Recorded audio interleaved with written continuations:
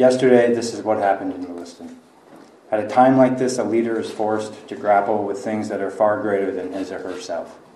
Humility is called for as accountability is sought by the victims of a tragedy such as this one.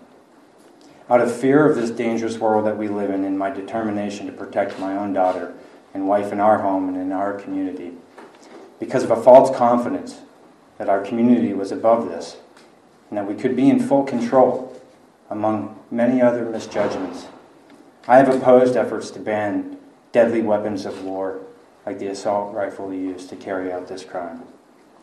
The time has now come for me to take responsibility for this failure, which is why I now call on the United States Congress to ban assault rifles like the one used by the sick perpetrator of this mass killing in my hometown of Lewiston, Maine.